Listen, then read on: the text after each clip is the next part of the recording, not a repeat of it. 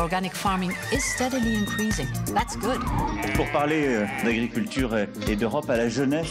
Der Klimawandel erfasst immer weitere Teile der Welt. Farmers help us bring nature back and preserve biodiversity. Ceux qui sont dans le rouge s'en sortent quand ils font plus vert. La qualité dans ce pays, elle doit être là pour tous.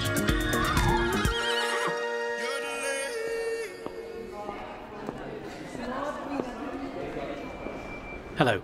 Hello. I'm here for the Agri Food Days. Where do I need to go? So you have to pass through security and then you go on the second floor. Great, thank you. This year, for the holiday season, we're taking you on a trip forward in time. Our destination, 2040. And our question what will our farming systems look like when we get there? This is the subject of the first edition of the EU Agri Food Days. They took place from the 5th to the 8th of December in Brussels, and Food for Europe visited during the three days open to the public, armed, as always, with a microphone. The aim of the event is to outline a shared vision for a more sustainable future and to reflect together on how to achieve it. Well, I admit I didn't expect much from it, given the challenges facing agriculture and rural development in Europe are so pressing. Climate change, loss of biodiversity, farmers giving up their vocation on the land, rising prices, changes in consumer tastes, and then there's an ever growing world population. There should be 10 billion of us on Earth by 2050. So I sat down in the conference room and then I listened and I hope you will. Welcome to the 38th episode of Food for Europe.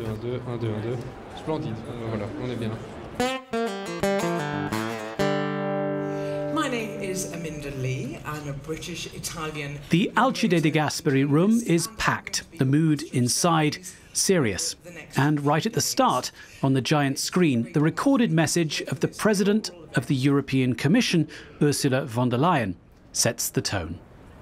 The entire agri food sector bears the brunt of the climate crisis. We all know we need to adapt faster to protect our food production from a more unpredictable and volatile environment. We have to find a new consensus on the future of agriculture and our food system. Now's the time to come together. That's why I announced a strategic dialogue in my State of the Union. And the whole industry has been anticipating how that dialogue will develop. We are formally launching this dialogue in January. I will invite a group of stakeholders building on the extraordinary diversity of the agri sector itself. For Peter Meedendorp, president of CEJA, the European Council of Young Farmers, it's something he's been waiting for since the initiative was trailed in the State of the Union address back in September. And so I took him aside during a coffee break to hear what he has to say. We really want to go into deep content wise and solution wise to try to discover where are the hiccups in the value chain and why isn't the sustainable transition working in financial sense so far. This 23 year old Dutchman recently joined his family's arable farming business after a bachelor's degree in international relations and a master's in agricultural economics. What drove me to farming is really the entrepreneurial aspects of it. Plan for the future of your farm, seeing which challenges are, are, coming at us, uh, how the world outside is developing. Moreover, being outside uh, majority of the day is something I find very uh, relaxing, and uh, the fact that every step you take is also for yourself. But his enthusiasm for making his own life from farming is somewhat at odds with the aspirations of most others his age. 10% of European farmers are below the age of 40, which is incredibly low. 50% is above the age of 55, so meaning that they will be out of business in approximately 20 years or less.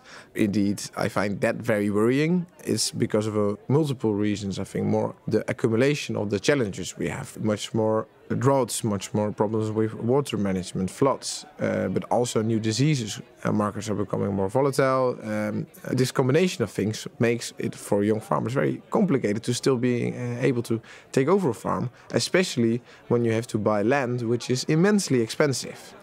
When it comes to access to finance, young farmers are three to four times more likely to get their loan rejected by the banks.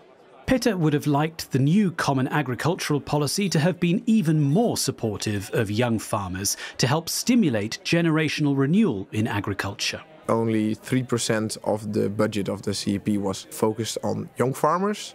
This was 1% more than last seven years. I think it still doesn't uh, really add up to the structural problems young farmers are facing. Young farmers are the next generation of farmers and are the ones who uh, should benefit the most from this cap.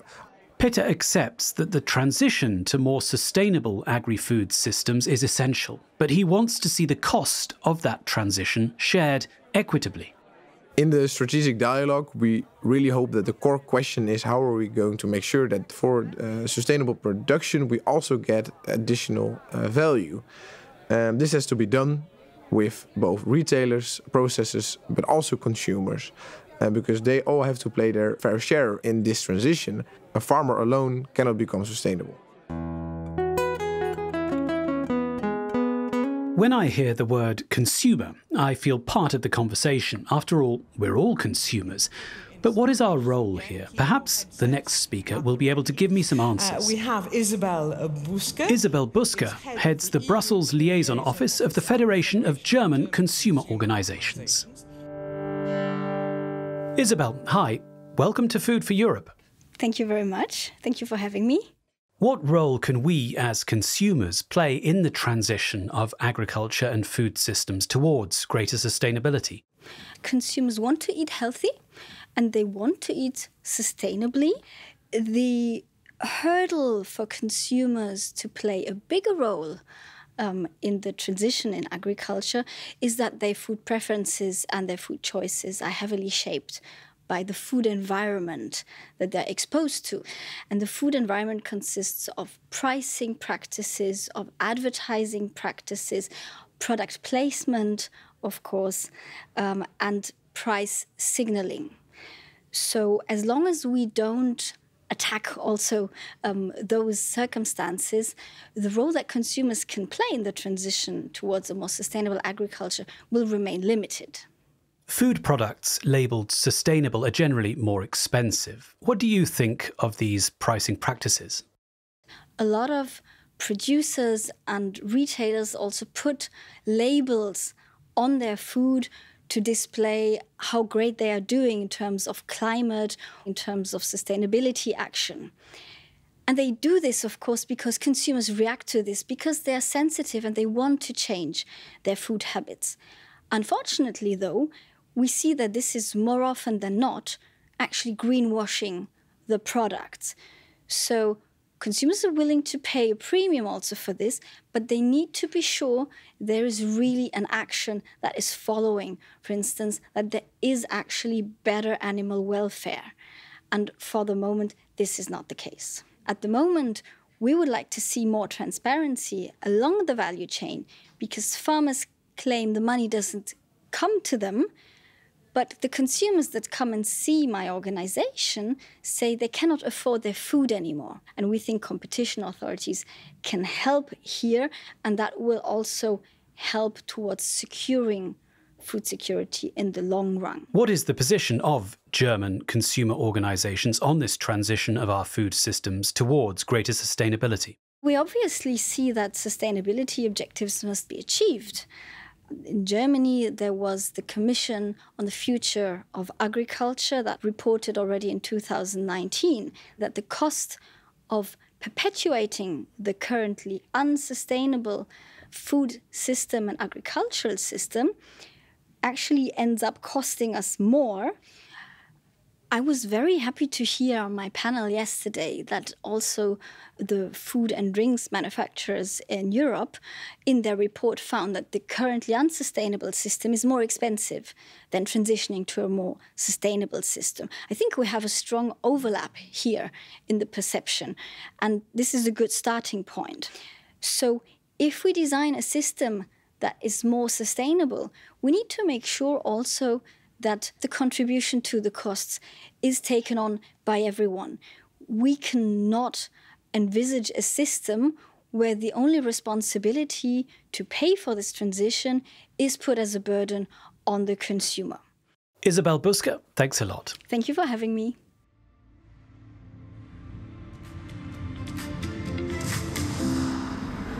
The end of this interview coincides with the presentation of the report on the medium term agricultural outlook for the European Union. Hello, everyone. Welcome back after the break. The medium term means up to 2035. In other words, not very far away. The report is presented by its coordinator, Andrea Porcella Chapkoviceva from DG Agri, who begins by asking the audience to answer the following question What factors do you think will affect the future of EU agriculture markets. The audience members respond on uh, their smartphones. Uh, like many others, it uh, seems, I opted for climate change. The climate change is for the moment the, the, the, strong factor there. We are acknowledging that climate change is and will remain an expected factor which will impact the EU crop production in the first place. In addition, we might add also the changing availability of some inputs. These two elements together, they could impact negatively the yields, while on the other hand, there could be some more positive aspects which could be linked to implementation of some innovation. The full report is available online, but here are two takeaways. First, sustainable practices mitigate the impact of climate change. Second, new technologies increase the yields from sustainable practices. And in fact, the final day of the Agri Food Days is dedicated to the digitalisation of agriculture, with the very first EU Agri Digital Conference. Next to where the escalators disgorge the many participants, there's a change of scenery. Can you explain to us what you're up to? I'm actually putting on display a model of the Galileo satellite. Half size, this is 7 meters across seven meters across. This one, yes. The real one is 14 meters. Evangelia Murmura from DG Agri was especially keen on this model for its symbolic significance. We'd really like participants to have this immersive experience at the conference to understand that we're talking about digitalization and precision agriculture, which are actually based on this type of technology. So when I come back tomorrow, the satellite will be fully assembled? Exactement. Yes, for sure. It's the final day. After a morning full of stories from farmers and breeders who have adopted digital tools, I have an appointment with the head of precision technologies for Europe, the Middle East, and Africa at the agricultural equipment manufacturer CNH Industrial. I want to hear more about the link between digitalization and sustainable agriculture. So, hello to Gianluca Feligini. Welcome to Food for Europe. Thank you very much. Thanks for having me here. Can you explain to me how new technologies are influencing the agriculture of the future? They're having a strong influence in the way we are going to reach our sustainability targets for the long term. We focus mainly in three main areas propulsion systems with alternative propulsions, artificial intelligence, meaning autonomy and automation, as well as on the digital platform and the data management. These three areas are going to help us to uh, reduce the CO2 footprint from an emission standpoint, as much as work on our overall greenhouse emission contribution from an agricultural industry standpoint by optimizing the inputs and making sure that we can uh, reduce the use of uh, pests and fertilizers. What are the latest innovations available to farmers? Most of the latest innovations are related to autonomy and automation. So they all go into the direction of making the best use of data uh, the customers are producing and uh, and then processing to make sure that they can optimize their work while they're in the field.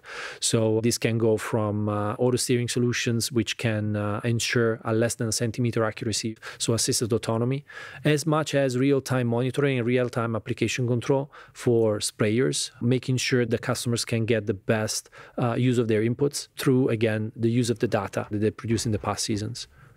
Are these solutions for everyone, or are they limited in terms of knowledge or the size of a farm? We see that in order for farmers to use our equipment in an effective way, training and education is fundamental. We put a lot of effort as an industry on the training. Farmers training, uh, as much as a distributor training, you don't need to be a, a large scale farmer to have access to latest technologies. It became very important over the past years to scale the product offering from a technological standpoint, especially in a setting like the European setup with a lot of diversity uh, across countries, that we can allow small and mid-scale customers access to technologies which are scaled up to their needs. So this is very critical because it brings financial sustainability to them. It, it helps them to get access to the technologies. It helps them see the value the return on the investment of the products, tested them by themselves, and not just being told by somebody else. Gianluca Feligini, thanks for joining us. Thank you very much.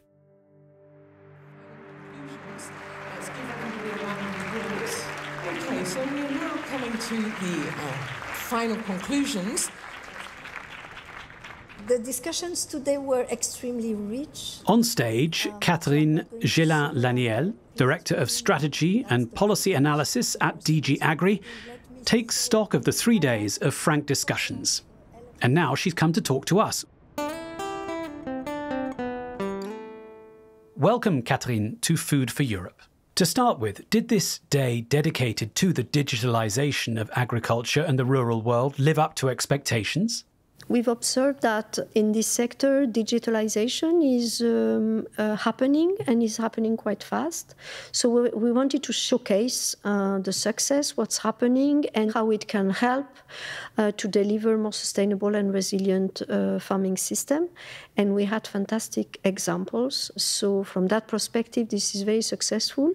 We also heard from some farmers and other key players that there are risks and vulnerabilities. So that's important also that we are aware of that and that we mitigate this risk. I'm here in particular thinking about you know data protection when i share my data who is going to use that for what purpose and so on and so forth so basically here for policymakers this is important to hear both uh, the uh, opportunities as well as the possible threats or risk and uh, of course mitigate them Data Act and Data Governance Act, for example, is helping to make sure that the farmers will keep control on their own data. I got the impression, listening to the debates and the exchanges with the audience, that there were two camps for farmers those embracing digital tools and those more reluctant. How can we avoid the emergence of a new type of digital divide between these two groups? I think it's important to say that with events like this, we are both showcasing, you know, the success stories in this area, as well as listening to the concern that some farmers have, and then identify as policymakers how we can bridge the gap between those who have already embraced this innovation and are using that, as well as the ones who are reluctant or resistant. So that means, first of all, regulating when it's appropriate. Second, when it comes to capacity building, we can, with the tools that we have in the Common Agriculture Policy, also transfer knowledge uh, and give advice uh, to farmers.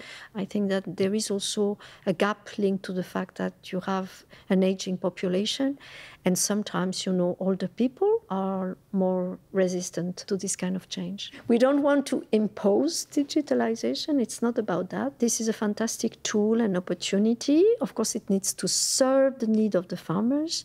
So uh, this is there, and we think that it can bring a lot of added value and benefit to our farmers. During these past three days, some 60 speakers have debated on stage in front of no less than 700 people in the room and more than 3,000 remotely because the event has been streamed online. What will you take away from it? I was very much impressed by the fact that there is a shared vision uh, on the need to step up our efforts to transform our food system and, in particular, our farming system to make uh, them more sustainable and resilient. Then, when it comes to how and what is the pace of the transition, there may be different views there, but there is an emergency and we cannot continue business as usual. And the second takeaway is that I felt a spirit of dialogue, and people are ready to further engage and discuss because they realize that they cannot do that in isolation. So it's very encouraging for the strategic dialogue that will start at the beginning of next year. The essence of this conference has been for participants to share their vision of European agriculture in 2040. So, what's yours? Um, yeah, I'm not sure. I should already answer that question because we are going to have the strategic dialogue next year, and I think that this will be uh, the opportunity to engage and uh, have a shared vision of the future of our farming system. But if you ask me to dream right now, I would say that uh, I would like that agriculture becomes climate neutral and uh, circular um, that it uh, remains highly productive, so with a more positive impact on environment and climate, and uh, that uh, it helps improve the livelihood and the income of our farming community.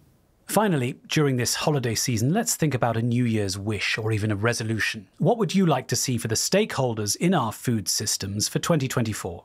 I wish all of us fruitful and productive exchange and dialogue between all key stakeholders of the food chain farmers, food processing industry, retailers, consumers, as well as non governmental organizations, where we will be able to agree together on a shared vision for our agriculture and our farmers in 2040. Thanks, Catherine Geslain-Lanéelle, and our best seasonal wishes to you. And so I leave the Agri Food Days with the feeling that, yes, in the face of the climate emergency and other challenges, solutions exist, and that in the end, the small seeds sown during events like this have a good chance of taking root.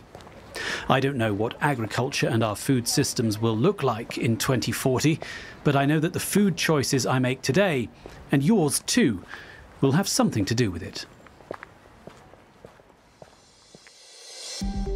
That's all for this 38th edition of Food for Europe. Thanks to all my guests for their contribution to this podcast. We look forward to your company in 2024 because our next podcast is on Belgian agriculture, reflecting Belgium's assumption of the presidency of the Council of the European Union on the 1st of January. Until then, have a great holiday season and enjoy the best of what European food and drink has to offer. Organic farming is steadily increasing. That's good. Pour parler euh, d'agriculture et d'Europe à la jeunesse. Der Klimawandel erfasst immer weitere Teile der Welt. Farmers help us bring nature back and preserve biodiversity. Ceux qui sont dans le rouge s'en sortent quand ils font plus vert. La qualité dans ce pays, elle doit être là pour tous.